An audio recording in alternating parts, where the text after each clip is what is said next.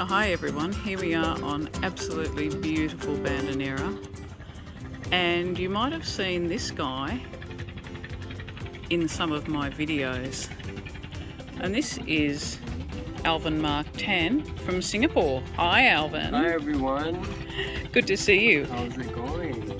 We've been uh, running into each other at various urban sketching events for years now, so I thought it was only fair, it's my time to get Alvin on camera.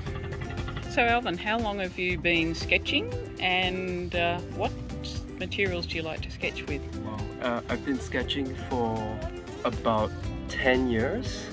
Uh, that's when I caught the sketching bug.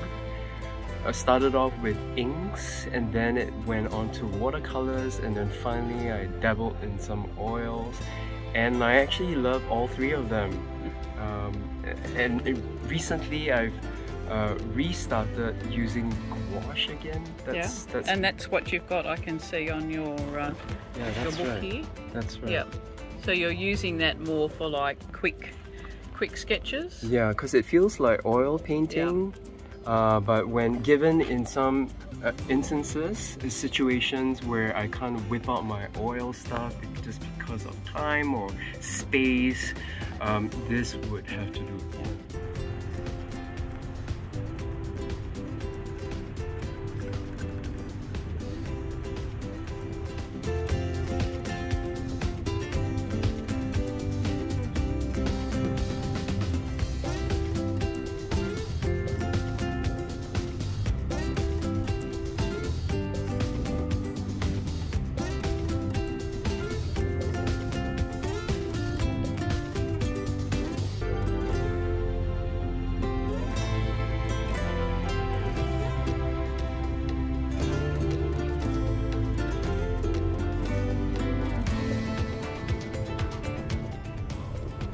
So, where are you off to from here? Because I mean, here we are in beautiful Banda, and I think you're still travelling on after here.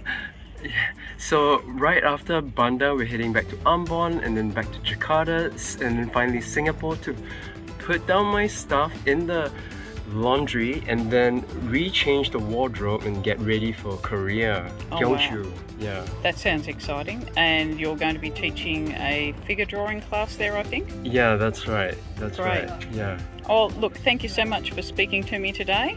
And Thanks uh, for having me. You will see Alvin popping up all over my videos because we're always videoing the same thing. Radio guys. Thanks, Alvin. Bye. Thank you.